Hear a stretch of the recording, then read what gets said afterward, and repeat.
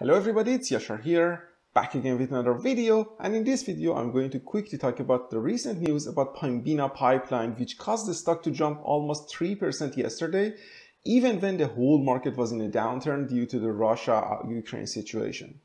I recently made a stock analysis video about Pembina and discussed why they are in a fair value territory and if you want to see the details of that analysis, I will leave a link to that video in the description box of this video. In summary, Pembina Pipeline is a Canadian energy transportation and midstream service provider and their business has three divisions. Pipeline division, which is the main business, facilities division, and a small subdivision, which they call it marketing and news, new ventures. They own 18,000 kilometer pipelines that transport oil and natural gas primarily in Western Canada, British Columbia, and Alberta, as you can see in this graph.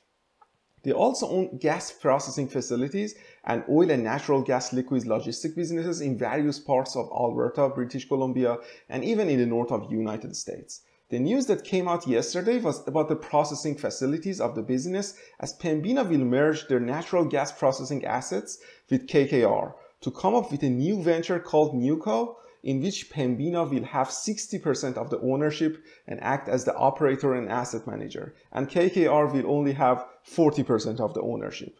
You all know that the natural gas prices are skyrocketing due to the conflict in Ukraine, and this merger will help Pembina to increase their processing capacity by almost 2.5 times, and as a result, their earnings by almost 3 times from this section of the business. This merger has three positive impacts on Pembina business.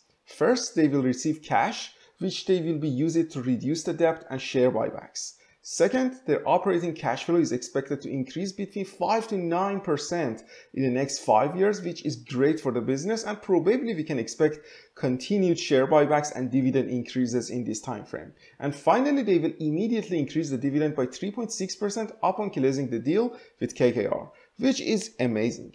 Congrats to Pembina shareholders, including myself, as these are all great news for us. There you are guys, I hope you enjoyed the video and if you enjoyed the video, please consider subscribing to channel to see similar videos about various stocks and companies, particularly Canadian stocks. Thank you for watching and I see you in the next video.